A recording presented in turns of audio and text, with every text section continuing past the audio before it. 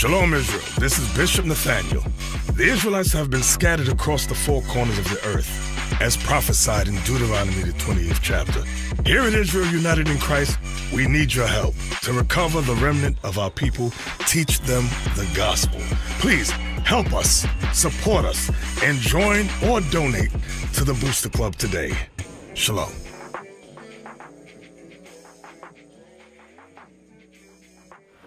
Shalom Israel, Captain OC. Officer Baruch. Alright, today we are going 15 minutes with the captains.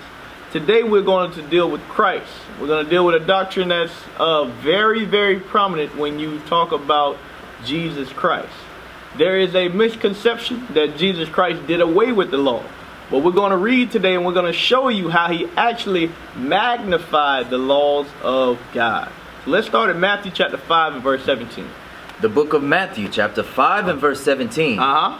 Think not that I am come to destroy the law. So the the the notion that he came to destroy the commandments, that you no longer have to keep the commandments, that should be out of your head first and foremost. This is the book of Matthew, right? Yes, sir. Read that again.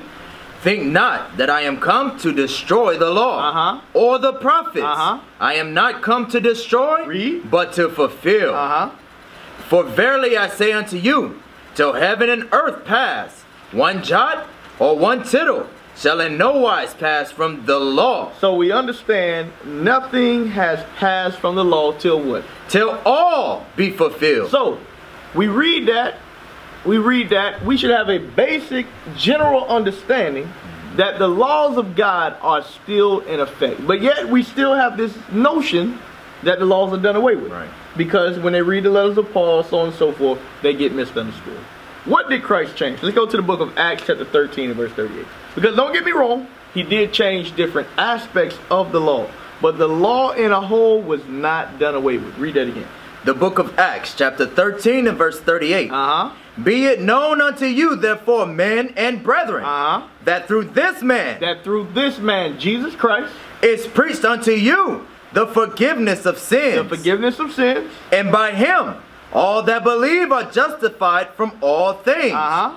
from which ye could not be justified by the law of Moses. You see that underneath Christ, we are now able to be justified of things that we weren't able to be justified under the law of Moses. That is what he changed. But the things that are written of him, the actual commandments, they still stand. And he actually expounded upon those things. Let's go to the book of Exodus, chapter 20 and verse 13. Let's get into this. We're going to show you how Christ magnified the laws of God. He actually made the laws more stringent than the laws of Moses. Because people like say you had to do this, you had to do that under the law of Moses. Okay, you did. But when you read about Christ, he actually made it harder for us. Mm. Because now, not only are you judged on your actions, now you're judged on your thoughts. Mm. You're judged on the intents so on and so forth. But that's for another class. Read that. The book of Exodus, chapter 20 and verse 13. Uh-huh. Thou shalt not kill. Uh-huh. Thou shalt what? Not kill. That it on that, right? Yes, sir. Thou shalt not kill. How did Jesus Christ expand upon thou shalt not kill? Let's go to the book of Matthew, chapter 5 and verse 21. And this is why I said Jesus Christ magnified the laws. All right? He magnified the laws of God. Read that. The book of Matthew, chapter 5 and verse 31. Uh, 21. 21. Ye have heard that it was said by them of old time, uh-huh. Thou shalt not kill, uh-huh. and whosoever shall kill shall be in danger of the judgment. Right. So you heard that in under Moses' law. He said, Thou shalt not kill. Read. Verse 22. But I say unto you, that whosoever is angry with his brother Uh-huh. without a cause. So if you're angry now with your brother, you didn't you didn't put the hand to him. Mm-hmm. You didn't you didn't choke him. You didn't take his eye out. You didn't do nothing. You're angry. You in your emotions. Read. without a because Uh-huh. shall be in danger of the judgment. So now if you just get angry with your brother without a cause, you're in danger of the judgment. The judgment of what? Thou shalt not kill. Keep reading. And whosoever shall say to his brother, Raca, mm-hmm. shall be in danger of the council. Read. But whosoever shall say, Thou fool, shall be in danger of hell fire. So now we see if you're angry with your brother, he's lining up along the same lines of murder. Let's get that. First John chapter 3 and verse 15. Because the law says, thou shalt not kill. Christ said, because he is greater than, than, than the, the law of Moses, he said, if you're angry with your brother without a cause, you're in danger of the judgment. Right. Read that. the book of First John, chapter 3 and verse 15. Uh-huh. Whosoever hateth his brother Uh-huh. is a murderer. Whoa, whoa, whoa, read that again. Whosoever hateth his brother is a murderer. Now, the spirit of hatred, now Christ, after Christ has come on the scene, he says, no longer do you have to physically kill a man to be worthy of the judgment. Now, if you have hatred toward that man, that's the same exact judgment. That's what you're worthy of. That's why I say, underneath Christ, yeah, you got grace, but now you're going to be judged on a whole different level. That's why in Hebrews uh, 10, right, he says, it's a fearful thing to fall into the hands of the Lord. Read that again. First John 3.15. Uh-huh. Whosoever hateth his brother is a murderer. Uh huh. Was that it on that? And you know that no murderer have eternal life abiding in him. There you go. Now, for there, let's go to Exodus 20 and 14. So he expounded upon the law of thou shalt not kill. He showed us how that was bigger than just that actual commandment of thou shalt not kill. All right, read that. The book of Exodus, chapter 20 and verse 14. Uh-huh. Thou shalt not commit adultery. Now what? Thou shalt not commit adultery. Thou shalt not commit adultery. What did Jesus Christ say about that? How did he expound upon the law of thou shalt not commit adultery? Let's go to the book of Matthew, chapter 5, and verse 27. the book of Matthew, chapter 5 and verse 27. Uh huh. Ye have heard that it was said by them of old time, Uh-huh. Thou shalt not commit adultery. Read. But I say unto you, that whosoever looketh on a woman to lust after her has committed adultery with her already in his heart. You see that? Now Jesus Christ, there you go again. He's a bad man. He said, I know what he said in the old time, but now I'm gonna judge you on something completely different. If you look upon a maid, you already committed adultery you already are. Why? Because you've already done it in your mind. Eventually it's gonna lead to that action. He's showing you that. From there, let's go to Deuteronomy chapter 11 and verse 1. Jesus Christ also expounded upon what love was. Because a lot of people think in the New Testament, that's the first time you see love. Love is all throughout the Old Testament. Read that. I'm show you what love is. The book of Deuteronomy, chapter 11 and verse one Uh-huh. Therefore, thou shalt love the Lord thy God, Uh-huh. and keep his charge, Uh-huh. and his statutes, and his judgments, and his commandments Uh-huh. always. So love in the Old Testament is the same thing as it was in the New Testament. What? How did Jesus Christ expound upon what love is? Because a lot of people say, "I keep the commandments." It's like the rich man. The rich man says, uh, uh, "I do this, I do that. I'm, I'm blameless." He says, "Sell everything you got." Right. Because he was showing them something. It's bigger than that. Go to uh, John chapter 15 and verse 12. How did Jesus Christ expound upon what it means to love? What does it mean to love now after Christ has come on the scene? John 15 and verse 12. The book of John, chapter 15 and verse 12. Uh-huh. This is my commandment, that ye love one another. This is my commandment that you love one another. We heard this already. Right. Read. as I have loved you. Uh-huh. Greater love have no man than this, that a man lay down his life for his friends. So now he said, okay, I know keeping the commandments is is is uh, of high esteem, but now you're gonna take it to the next level. He said, there's no greater love than laying your life down for your brother or your sister.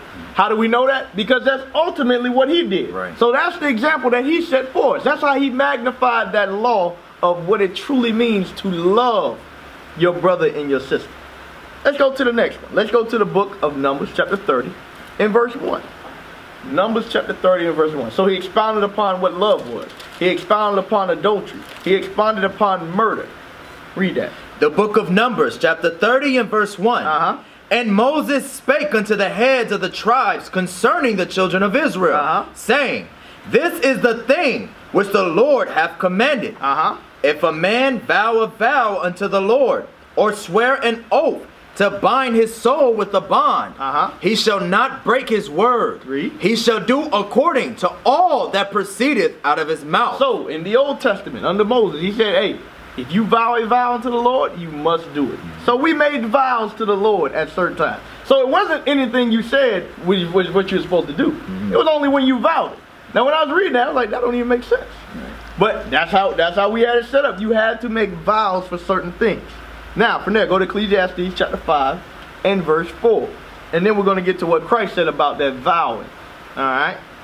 Ecclesiastes chapter 5 and verse 4. The book of Ecclesiastes, chapter 5 and verse 4. Uh-huh. When thou vowest a vow unto God, Read. defer not to pay it. Uh-huh. For he have no pleasure in fools. Read. Pay that which thou hast vowed. Pay that with the eyes vow. Read. Better is it that thou shouldest not vow than that thou shouldest vow and not pay. So even in the Old Testament, they had to understand it's better for you not to vow than to make a vow to the Lord and not pay. Read.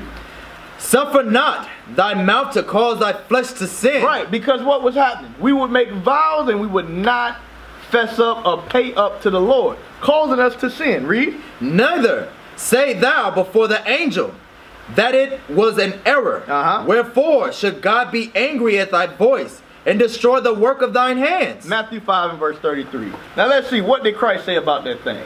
What did Christ say about the act of vowing? How did he magnify the law? Read that.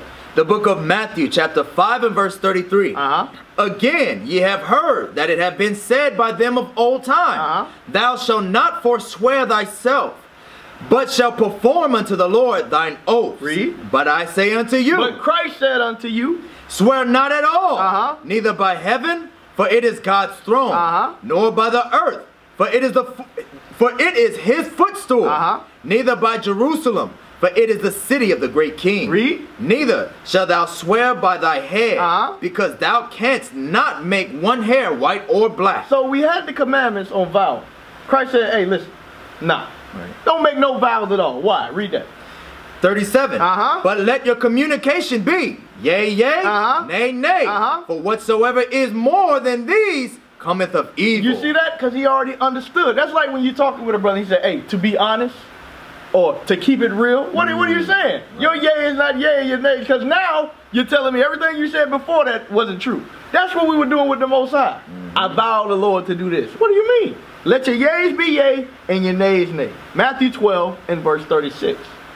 Because and there go again. But that's also showing you how Christ magnified that thing. Before you he only held you accountable to those vows. Now everything come out of your mouth, you got to do it. Read that. The book of Matthew, chapter 12, and verse 36. Uh-huh.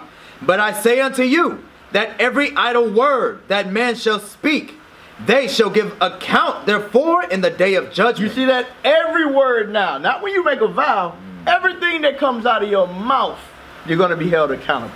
So for now, let's go to the book of Luke, chapter 24 and verse 44. Luke, chapter 24 and verse 44. So we just showed you a few elements of Christ and his doctrine and how he magnified the laws of God. Showing you once again, if you have any inclination that he did away with, uh, with the laws of God, you are incorrect. You are wrong. That is not true. That is not what Christ came for. Read that. The book of Luke, chapter 24, and verse 44. Uh-huh. And he said unto them, These are the words which I spake unto you Read. while I was yet with you, Uh-huh. that all things must be fulfilled, That all things must be fulfilled. Read. which were written in the law of Uh, Moses law of Moses. and in the prophets And in the what? in the prophets Read. and in the Psalms Uh-huh. concerning me. So we're going to read what was written of him in the prophets. Let's go to the book of Isaiah, chapter 42 and verse 21. Because all the scriptures we just read you today showed you that he fulfilled what was written of him.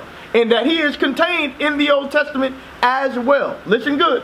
the book of Isaiah, chapter 42 and verse 21. Uh-huh. The Lord is well pleased for his righteousness' sake. Uh-huh. He will magnify the law. He will what? magnify the So law. Jesus Christ was doing nothing other than what he was prophesied to do. Showing you once again, when he came on the New Testament, in, in the New Testament, when he came on the scene, and the, the, the Pharisees and the scribes were upset they obviously were not reading the scriptures. Christ was doing nothing more than what he was prophesied to do, which was what? Magnify the law Uh-huh. and make it honorable. And he was making that thing honorable. So I pray you understand the, the doctrine of Christ a little better with that. And with that, we say shalom. Shalom Israel. We used to scream black power while Heron was pushed.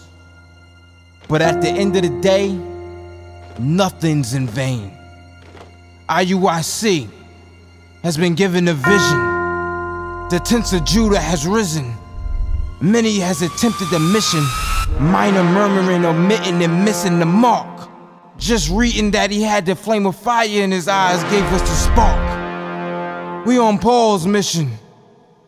We out on the road, purple and gold, from Mexico, Cuba, Haiti, Ghana, Sierra Leone. 144,000 boots banging, concrete crackling. These are how our men repented at heart. The scriptures is proof. IUIC, we deliver the truth.